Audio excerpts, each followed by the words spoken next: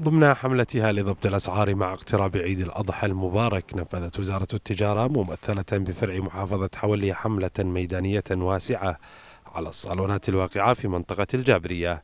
كاميرا الرايرة فقد فريق الوزارة الذي شدد على مستثمرين تلك الصالونات.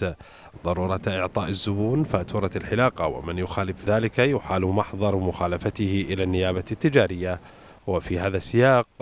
قال ممثل وزارة التجارة في فرع محافظة حولي المفتش محمد المطيري إن الهدف من الجولة هو ضبط الأسعار والعمل على عدم ارتفاعها خلال فترة العيد.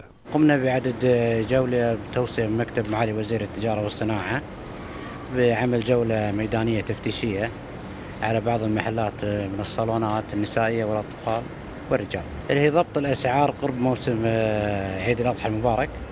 وضبط الأسعار وعدم ارتفاعها وحصر عدد من المخالفات. عدد المخالفات اللي اليوم حضرتوها؟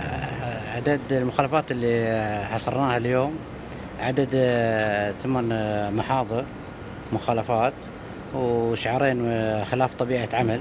وحول طبيعة المخالفات الثمانية التي تم تحريرها أشار المطيري إلى أن نوعية المخالفات تختلف بين صالونات الرجال والنساء خصوصا العروض المقدمة لدى النساء إذ إن تلك العروض تحتاج لموافقة من وزارة التجارة.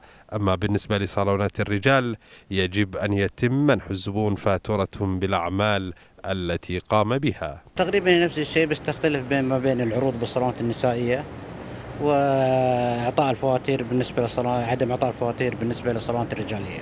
بالنسبة للعروض اللي تقدمها الصالونات النسائية لابد أن تمر على وزارة التجارة وتأخذ موافقة عليها؟ نعم يجب هناك أن في ترخيص وزارة التجارة بالموافقة على عمل عروض في في الصالونات. في بعد محضر الضبط بعد ما يجينا المخالف نعمل له محضر ضبط ويتم إحالة الجهات الاختصاص اللي هي النيابه التجارية.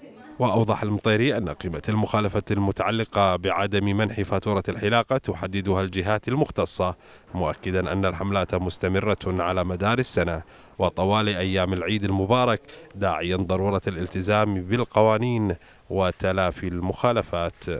حامد النبهان الرأي.